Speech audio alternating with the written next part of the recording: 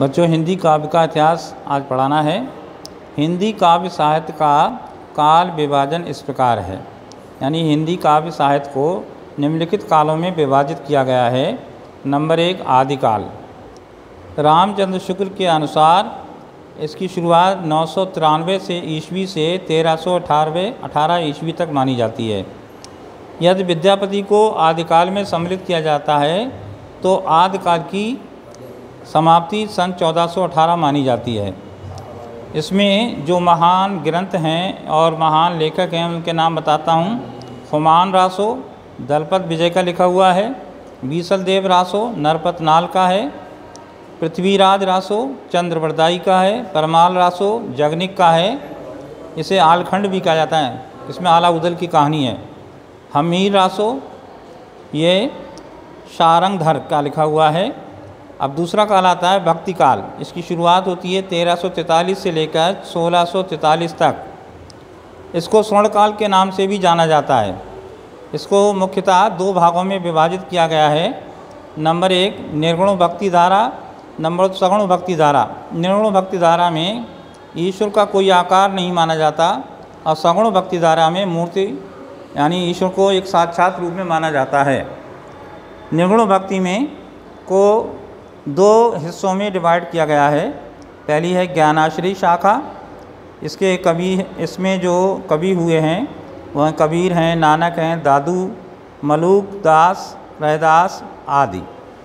प्रेमाश्री शाखा में जायसी हैं, मंजन हैं, कुतुबन हैं। अब दूसरी शाखा आती है सगुण भक्ति।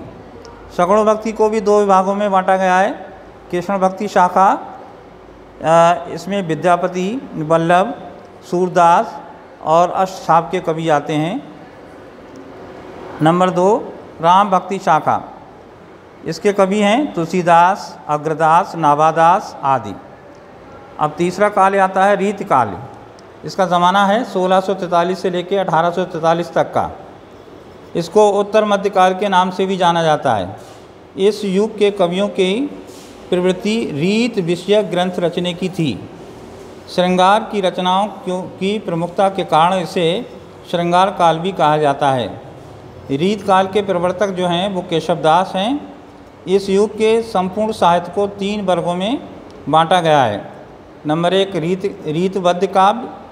सर्वप्रथम चिंतामणि ये कवि हुए हैं। उन्होंने रस विलास पिंगल, श्रृंगार मंजरी, कविमुक्त, कल्पतरु आदि ग्रंथ लिखे हैं।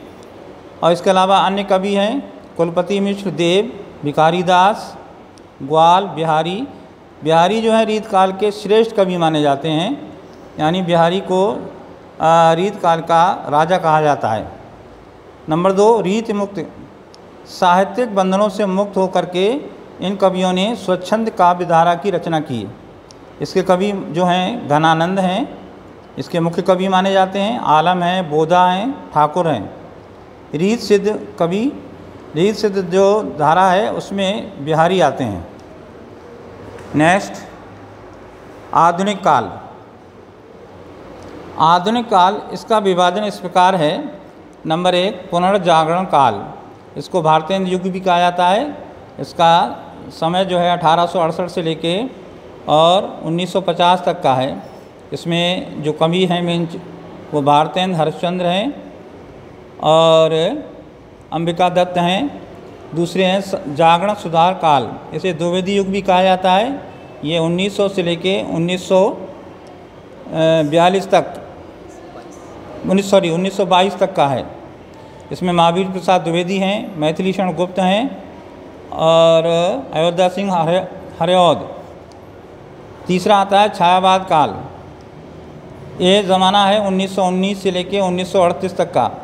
इसके जो कवि हैं प्रसाद हैं, यानी जयशंकर प्रसाद और राम ये ये हैं, निराला हैं, महादेवी वर्मा हैं सुमित्रा नंदन पंत हैं। छाया बादोत्तर काल। इसके कवि जो हैं, दिनकर हैं और इस, सुमन हैं और अज्ञे वगैरह हैं। अगला, इसको दो हिस्सों में बांटा गया है। प्रगतिवाद या प्रयोगवाद। 1938 से लेकर 1943 तक का ज़माना, इसके मुख्य कवि अग्गी माने जाते हैं, इनका तार सप्तक जो है प्रकाशित हुआ था। नई कविता, उन्नीस से लेकर अब तक की जितनी कविताएँ रची जा रही हैं, वो सब नई कविता के अंतर्गत आती हैं।